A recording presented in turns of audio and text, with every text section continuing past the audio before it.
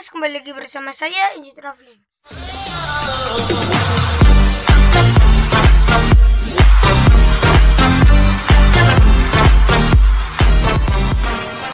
Kali ini saya akan memberikan tutorial kepada Anda yang sudah menonton video ini, yaitu tutorial membuat pintu otomatis di Minecraft. Tahu bilang simple ya. Kalau kita injak dua bagian dari sini, maka pintunya akan terbuka secara otomatis. Oke. Seperti itu, langsung saja kita buat di samping sini. Yang pertama, Anda harus butuhkan yaitu blok ya, terserah blok apa gitu. Kalau gue memakai batu bata karena batu bata di sini semua kota Minecraft itu semua kota matahari juga kota.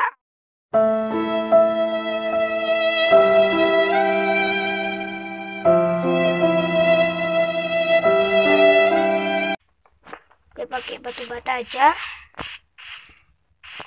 Saya saranin jangan pakai pasir. Kalau pasir nanti itu gampang jatuh oke? Dan hancur.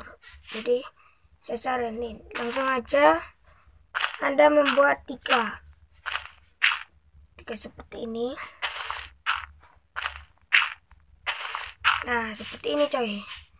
Tiga setelah itu membuat satu dua dua dua satu itu satu. Dan seperti ini gengs. Dan terus apa yang ada butuhkan? Obor obor batu merah ya. Kita taruh di pojok gini. Saya itu Redstone kita taruh ke semua tempat yang saya sudah belum tadi. Seperti ini bisa lebih jelas. Oke, setelah itu Anda bisa tutup memakai blok Anda sendiri. Kalau gue pakai batu bata. Oke. Seperti ini. Setelah itu redstone-nya kita taruh di sini. Upayakan sudah menyala ya. Setelah itu kita pistonnya kita taruh seperti ini. Taruh seperti ini. Kita pakai terserah ini blok atau kaca bisa.